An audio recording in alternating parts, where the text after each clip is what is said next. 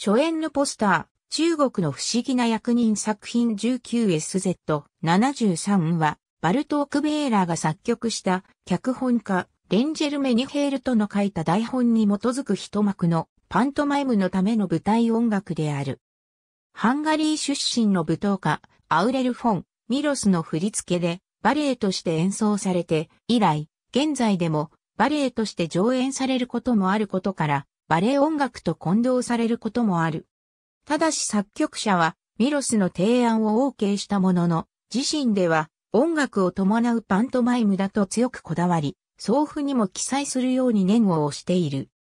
作曲のきっかけは、1918年3月にバルトークのピアニストとしての先生であるトマーン、イシュトバーンから、レンジェルの脚本である、中国の不思議な役人グロテスクなパントマイムに、作曲を進める手紙が来たことによるものとされている。5月に歌劇、青ひげ校の城が初演された際、バルトークとレンジェルは出会い、翌月にはバルトークがこの台本に合わせた舞台音楽を書くということが決まった。翌年の5月には完成版の元となったスケッチが完成し、7月にはレンジェルにも思想してみせる。しかし、この後第一次世界大戦の終結による当時のハンガリー王国内の混乱などで、スケッチより先の作業は父として進まなかった。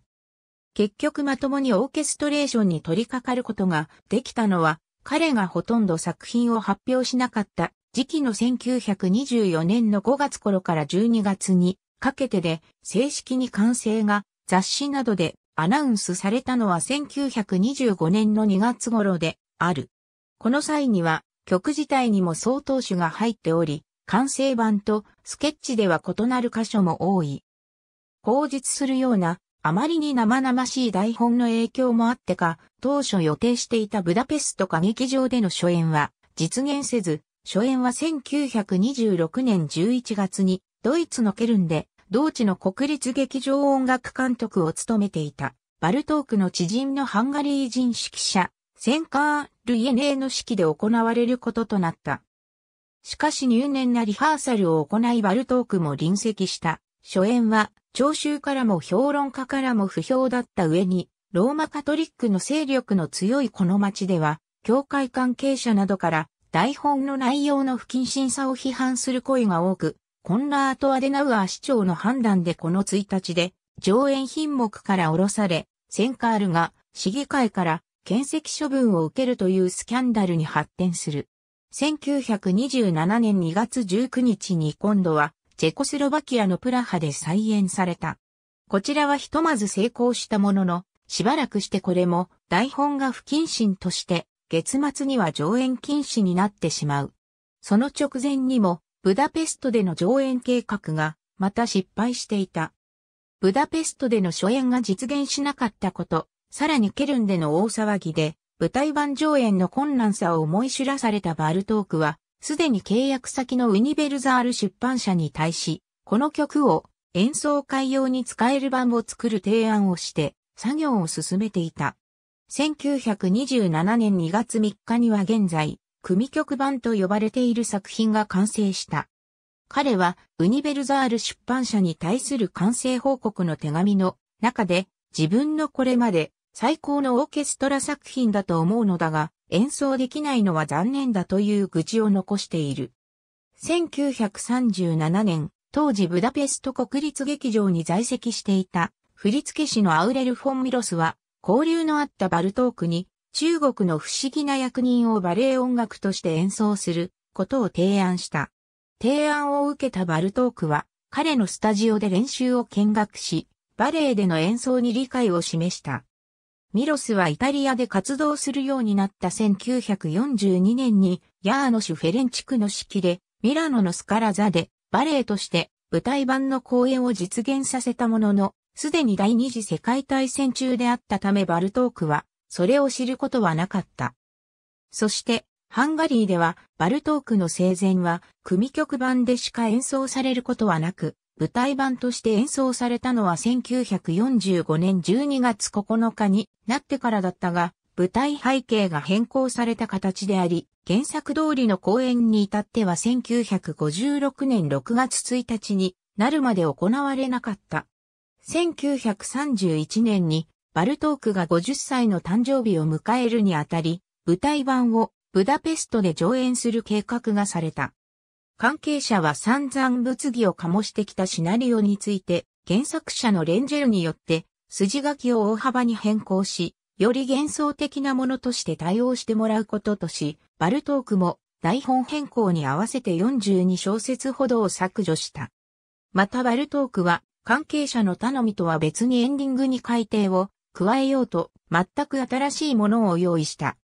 結局この上演計画も失敗するが、バルトークは1936年1月29日付で、ウニベルザール出版社に対して送った手紙の中で、全曲版の譜面を出版する際には、エンディングを1931年版に変更するようにと指示を出している。しかしナチスドイツのオーストリア併合により、バルトークが同社との契約を打ち切ったこともあって、全曲版の楽譜はバルトークの死後の1955年になるまで刊行されなかった。音楽的には、ストラビンスキーのペトルーシュカや春の祭典の影響も見え隠れする。ただし台本に合わせ、キャラクターの心情を表現する音楽が意識されており、また情景描写という意味でもライトモチーフ的な動機を多用するなど工夫が凝らされている。また、この曲のオーケストレーション前に完成、初演していた舞踏組曲とオーケストラ処方には共通点が多数ある。変拍子が多く、テンポの変化も極めて多彩なので指揮科のレッスンにはよく使われる曲でもある。オーストリアのウニベルザール出版社からオーケストラ版に加え、バルトーク自身の手による4手ピアノ版、2手ピアノ版が刊行されている。演奏海洋組曲は原曲の数箇所と合唱付きの後部をカットし、新しいコーダを付け加えた形のものであるため、ミニチュアスコアはオーケストラ版の中にカット指示とコーダが含まれることで、舞台版と組曲版が一種類のスコアとなっていたが、2010年に全音楽譜出版社より初めて組曲版単独のポケットスコアが発売された。現在ユニベルザール出版社から刊行されているのはバルトークの次男バルトーク・ペーテルらによって肯定された2000年版である。全音楽譜出版社の組曲版も、肯定者の村上康弘らが、ペーテルらと協力して2000年版を、さらに肯定したもので、基本的には同じものである。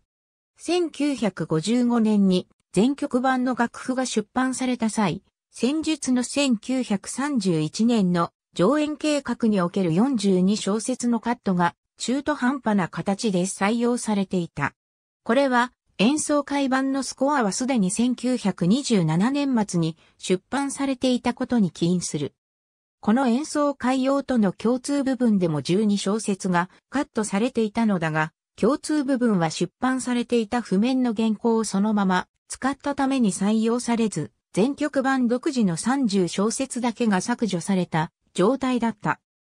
バルトーク作品の工程作業を進めていたペーテルらは、工程報告の中で、この曲については、資料の研究により、カットされた部分のほとんどは、舞台の演出にリンクしている部分であり、台本を変更せざるを得なかったその公演計画に限ったカットであると判断したとして、改定審判の出版譜では、誤色やバルトーク自身の指示ミスなどの訂正をする際、出版譜に反映されていたカットをすべて復元している。その際、資料として1931年版にとって変わられた旧エンディングが付録として付けられた。ただ、実際には、この工程版は、バルトークの遺族や出版社が権利関係の延長を狙ったものに過ぎず、工程版を出すに至った理由の説明もこじつけだとの見方もある。フルート3、オーボエ3、クラリネット3持ち替え、ファゴット3、ホルン4、トランペット3、トロンボーン3、チューバ、ティンパニ、小太鼓、テナードラム、大太鼓、シンバル、トライアングル、タムタム、シロフォン、チェレスタ、ハープ、ピアノ、オルガン、言語部、混声4部合唱。打楽器奏者は6人必要。また組曲版では、ワーグナーチューバと混声合唱が出てくるシーンがなくなったため、省かれている。約30分レンジェル・メニヘールと悪党ともが盗品を隠すための都会のアパートのみすぼらしく汚い2階の部屋隠れ家で、あるアパートの一室に3人の悪党と少女がいる。金がないため悪党の一人は少女に金を奪うため窓辺に立ち通行人を誘惑するよう命じる。少女は嫌がるが、悪党たちは無理やり彼女を窓辺に連れて行き、自分たちは身を隠す。仕方なく少女は窓辺から手招きをして、通りの男を誘惑する。すると年老いた伊達男と目が合う。彼はすぐに階段を上がってくる。伊達男の老人は奇妙な求愛の仕草をする。少女が、お金、ある？と聞くと、彼は、お金など重要ではない。愛がすべてだと言ってしつこく、少女を追い回す。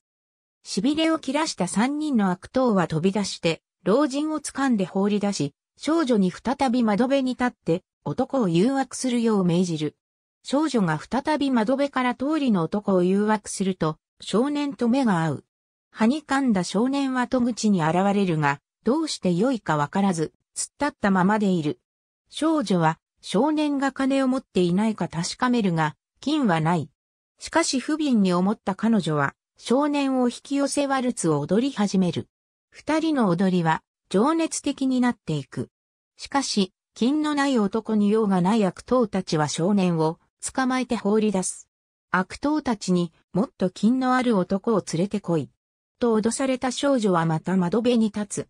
今度は高級な服に身を包み、たくさんの宝石を身につけてはいるが、どうにも気味の悪い男と目が合う。役人はすぐに階段を登ってくる。三人の悪党は隠れる。役人が部屋の前までやってくるが、入り口で動かない。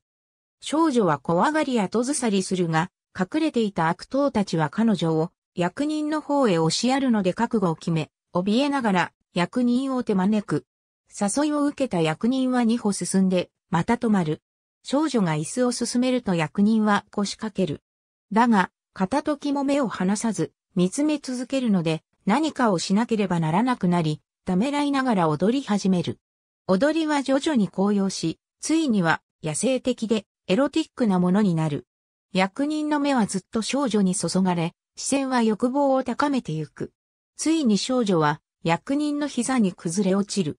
彼は興奮のあまり震え始めるが、少女は彼の抱擁を剣をして飛び起き、後ずさる。役人も手を伸ばし、彼女を捕まえようとする。ついには、少女と役人の追いかけっこが始まる。役人はつまずき、転ぶがすぐ起き上がり、より激しく追い回す。ついに役人は少女を捕まえ、二人は床に倒れる。ここで悪党たちが飛び出して役人を押さえつけ、宝石と金を奪い身ぐるみを剥ぐ。さらに役人を殺してしまおうと引きずってベッドに投げ出し、その上に枕や毛布、マットレス等を積み上げ、悪党の一人がその上に乗る。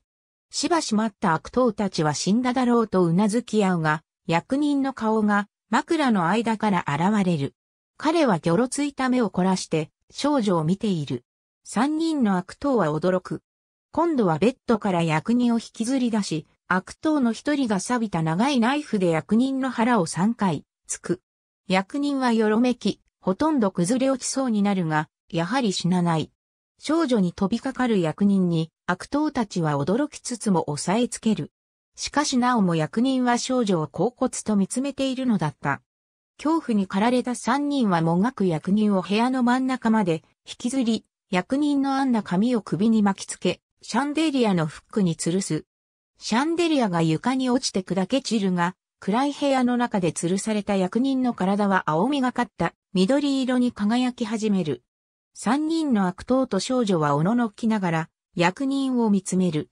ふと少女は悪党に役人を下ろしてくれと頼み、悪党どもは役人の編んだ髪をナイフで切る。役人は床に崩れ落ちるが、すぐに飛び起き少女に向こう。少女は逆らわず、役人を自分の胸で受け止める。少女と抱き合った役人は、私服の満足をしたうめき声を上げる。願いを満たした役人の傷口から血が流れ始め、だんだん弱ってゆく。そして苦悶の後、息絶える。レンジェル自身がグロテスクと題名に書いているが、実際大敗的で、エロティックな雰囲気の強い台本である。バルトーク自身はこの台本を大変気に入っていたようで、残されているインタビューでも素晴らしい筋書きですよと熱っぽく語っているほか、常に高まっていく段階があるからとも述べている。しかし表面上のグロテスクさが上演において様々な問題点を発生させてしまったことは否めない。なお、レンジェルの原作では悪党たちが役人を殺そうとするのは4回であったりするなど、細かい点についてはバルトークが変更している部分がある。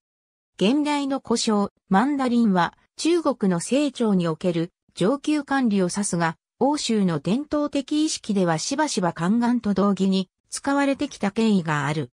マンドランの訳語として役人でなく宦官を当てた和訳も見られるが、バルトークとレンジェルの認識がどのようなものであったのかを示す明確な証拠はない。少なくとも、レンジェルの描いたストーリーでは、役人の外見については、弁髪以外は、身なりの良さを強調しているだけである。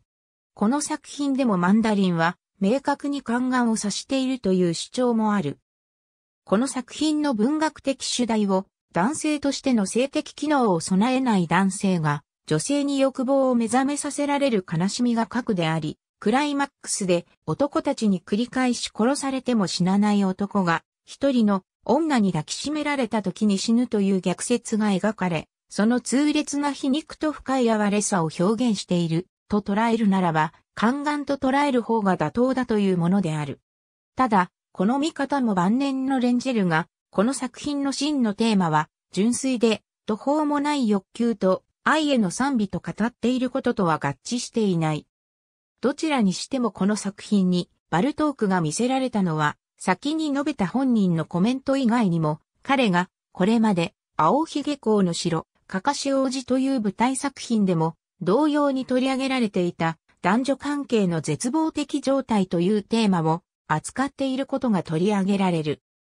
しかしそれ以外にも、殺伐とした都会に現れ、ひたすらに愛を求め、そのためには殺されても死なず、少女の愛で救われていくという役人の描き方を指して、バルトークが後年のカンタータ・プロファーナなどにも主題に取り入れている自然の生命力への賛美と同質の尊敬をこの役人にも向けていたからではないかという意見もある。ありがとうございます。